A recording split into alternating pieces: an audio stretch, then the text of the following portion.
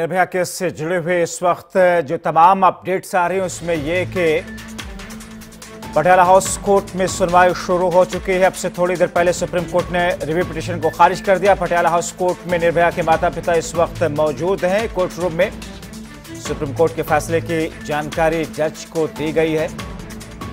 Supreme court के फैसले की जानकारी अब जबकि पटियाला हाउस कोर्ट जज के पास भी पहुंचाई गई है। अब आज डेथ वारंट जारी करने पर सुनवाई शुरू हो रही है।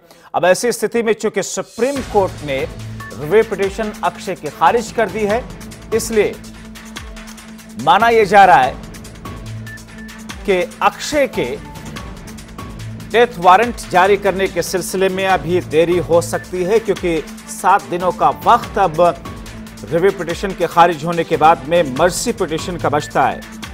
मर्सी पिटीशन दाखिल किए जाने के बाद में एक अलग पूरी प्रक्रिया है और ऐसी स्थिति में कितना वक्त और लगेगा?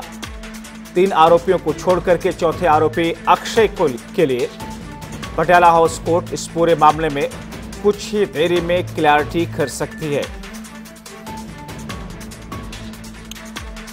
तो दरअसल आज का दिन काफ़ी महत्वपूर्ण निर्भया केस से जुड़े हुए मामले में फैसले को लेकर के इससे पहले सुप्रीम कोर्ट ने आज अपना फैसला दिया, जिसमें रिव्यू पिटिशन को तो खारिज कर दिया, मगर इस पूरे मामले में निर्भया के वकील और उनके माता पिता का क्या कहना है? आइए सुन लेते हैं। आज यहाँ पर देखिए दो चीज़ें हैं। एक तो ये जो सेवन डेज़ का टाइम की बात हुई है सुप्रीम कोर्ट में तो पहले डीजी ने, तिहाड़ डीजी ने इनको सेवन डेज़ का ऑलरेडी टाइम दे चुके थे। जो टाइम इनका लैप्स कर चुका है तो अगर कोर्ट उस ग्राउंड पे हम लोगों को सुनती है तो डेफिनेटली आज भी डेथ सेंटेंस के एग्जीक्यूशन का ऑर्डर कर सकती है। लेकिन अभी मर्सी जो बिनाई की है उसका फाइनल कोई भी रिजेक्शन का हम लोगों के पास अभी ऑर्डर नहीं आया है। जी। पब्लिक की भाषा में समझे जाए तो कितने दिन में ये जो दोषी है वो फांसी देखिए मुझे हम ऑन वर्ड ये कुछ नहीं कह सकते कि कितना दिन। फिर भी हम उम्मीद कर रहे हैं कि कमिंग जनवरी जो है 2020 में जनवरी में ये मैटर पूरी तरीके से ये क्लोज होगा और उनके डेथ सेंटेंस के एग्जीक्यूशन का ऑर्डर हो गया। ये सुप्रीम कोर्ट में रिव्यू उनकी खारिज हो गई और मैं इस फैसले का स्वागत करती हूँ। और एक कदम हम इंसाफ के नज़दीक पहुँच गए।